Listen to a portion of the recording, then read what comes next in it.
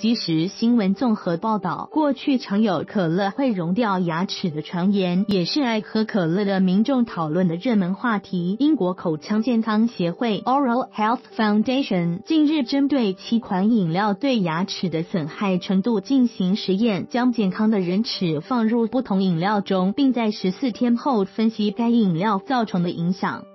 综合外媒报道，实验结果证实，可乐对牙齿造成的损害非常吓人。短短两天时间，就将健康牙齿从原本的白色化为褐色，表面上还出现类似腐蚀的痕迹。十四天后，牙齿更是硬生生断成两截，表面颜色及腐蚀痕迹更为明显。主持该研究的阿特金斯 （Dr.）。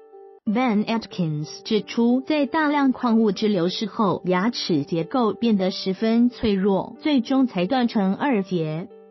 此外，长时间浸泡于苹果酒、气泡酒中对牙齿造成的不可逆损害也不容忽视。其中，以气泡酒造成的伤害尤为惊人。在十四天的连续浸泡后，原本洁白的牙齿虽未被染色，但其外层已遭侵蚀。在钙质严重流失的情况下，表面已化为粉末。在这状态下的牙齿，阿特金斯评论很像粉笔粉末。阿特金斯进一步解释说，这是由于上述饮料通常属于酸性，同时内含相当高的糖分，因而能与牙齿快速进行反应。若民众长时间让饮料停留于口中，或饮用频率过高，的确有可能出现轻微的腐蚀状况。珐琅质的钙质成分亦有可能因而流失。